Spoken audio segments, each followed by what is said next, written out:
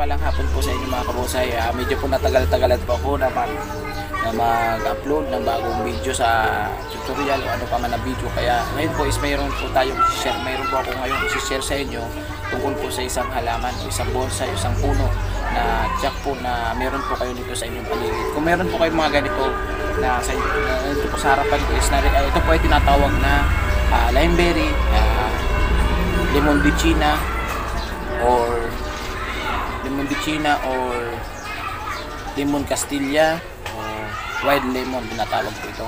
Ito po ang pagbubonsay po nito is ah, pwede pong galing po sa seeds or sa hunting po. Kung meron po kayo dito sa paligid kasi ang ang, da, ang characteristic po ng isang puno na ito is may tinik po at kadalasan po is nakikita po ito sa bay bakod, mga bakod natin. Kaya po kung meron po kayo nito is uh, suggest ko po sa inyo kung, at kung kung sayang naman kung puputulin nyo lang at itatapon kung naka dito po pwede nyo pong pakidabangan siya pwede nyo pong pang display pwede nyo pong ibenta o ano pa man. Kaya ngayon po is i-share ko po sa inyo kung paano ko po ninaalagaan ang care tips nito ng mga alaga kong ito. Ito po ay tatlo lang. Ito po ay under training pa nasa baba na ito. Ito po is under maintenance na din sila lang po at ah, under under training pa rin pero pero may ibubugan na din po. Kaya po kung hindi pa po pala kayo nakasubscribe sa channel ko please subscribe and notification bell para palagi po kayong updated sa mga ginagawa ko mga video. And salamat po patuloy sa patuloy na sumusuporta sa channel na ito. At salamat po sa lahat ng mga nagsusubscribe nagla-like and nagko-comment sa ating mga tutorial po mga video. Kaya po wag na po natin patagalin. And let's start mga kabonsai. Happy bonsai po and God bless po sa inyo lahat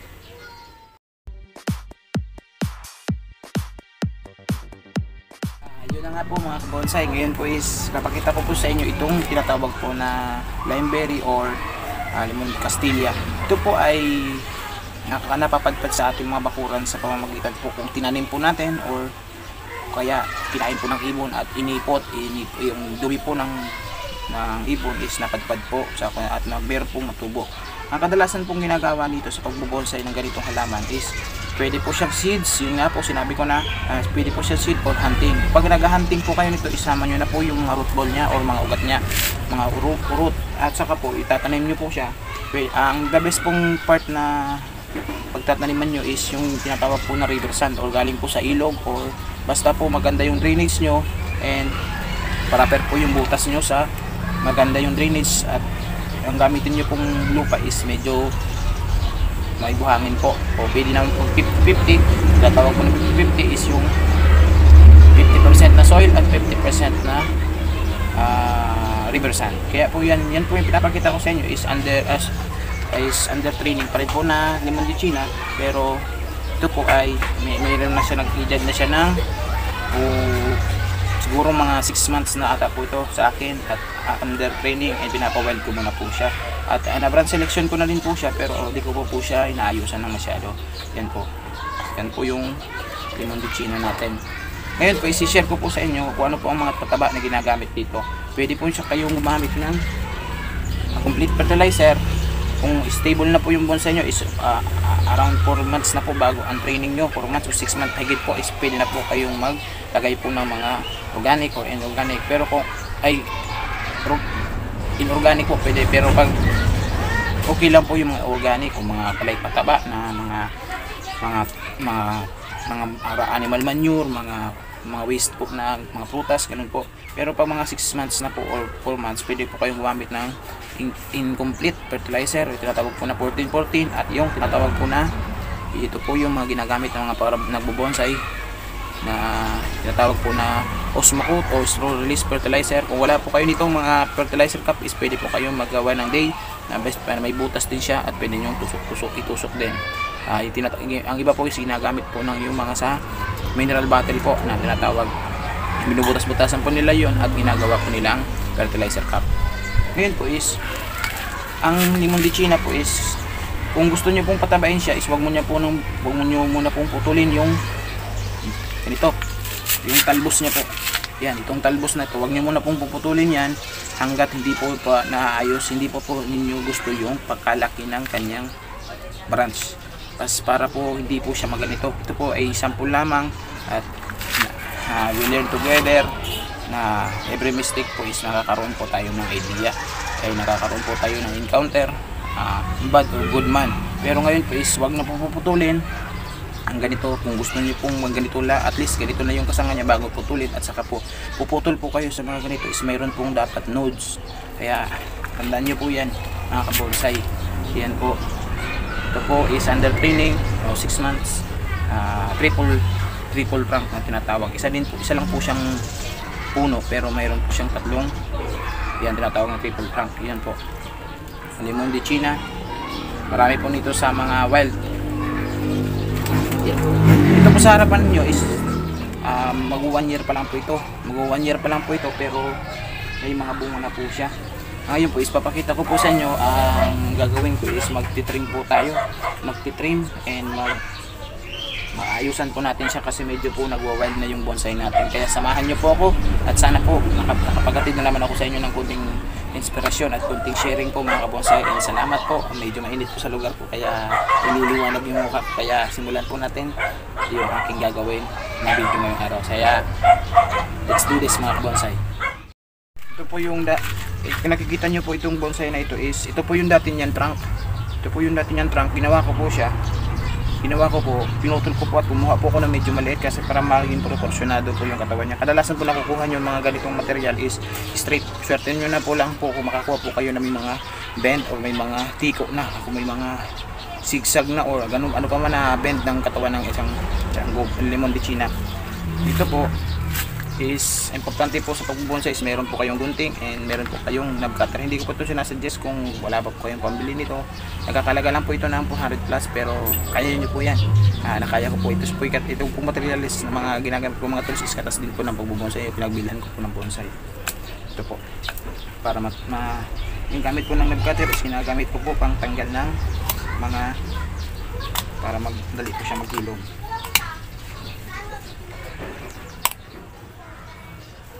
Natanggal po yung mga di halata po yung mga tinanggalan pinagputulan natin pinagputulan natin ng mga sanga. Kung ano pa man parts na pinagputulan po natin. Ito po.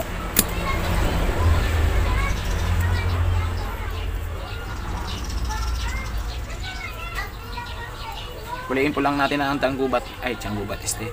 Kaya limang di China is meron po dapat siyang pero lagi po siyang pina kung okay na po sa inyo yung prank niya depende po yan sa artist. Kanya-kanya po tayo ng diskarte and kanya-kanya po tayo ng gusto sa ating material.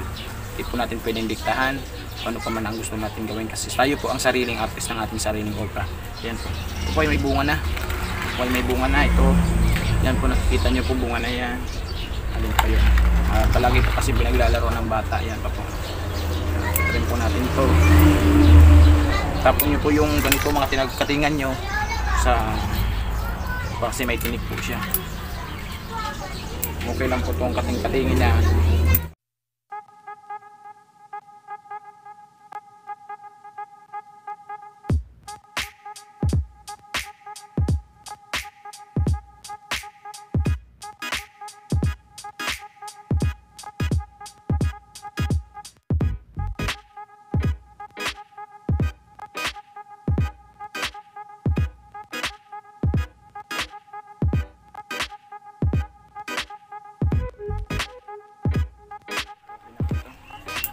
pwede nyo pong gawin dito is basic 1, 2, 3 uh, isa pong, ano ganito po yung branch nya dito po yung eye trunk nya is pwede po kayo magawa ng tatlo lang na na branch na another small branch tatlo. Basic 1, 2, 3 po.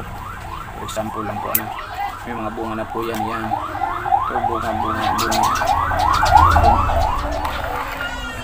Palagi lang po kung kailangan is mayroon po dapat siyang extension pad. Sa pagbubonsai po is importante po yung extension pad or kinakailangan po ipat because po na napuno na po yung ugat niya is kailangan po natin yung gawin. Yan mga kabonsai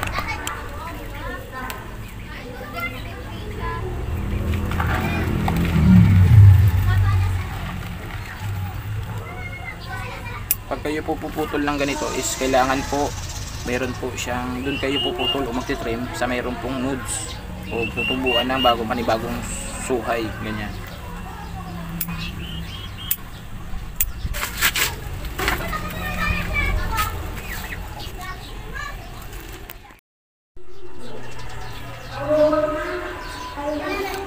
Ito pong nakikita nyo is nakuha ko po to sa talampas o sa gilid po ng ilog kaya po naging ganito yung katawan niya is meron po siyang para siyang ahas. Nakita nyo na po ito sa page ko. Pakipalo na lang po sa page ko sa JP Botan TV Facebook page yan. Yan. Yan po.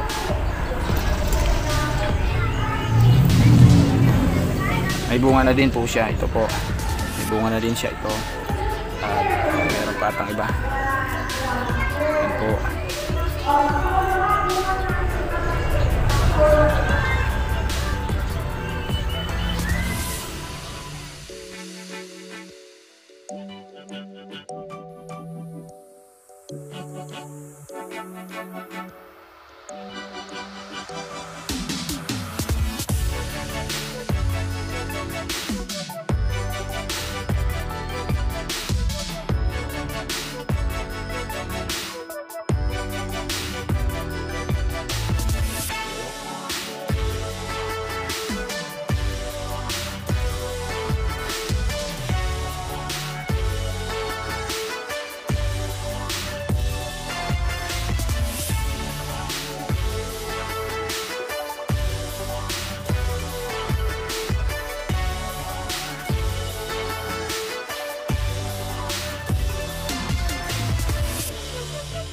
Yun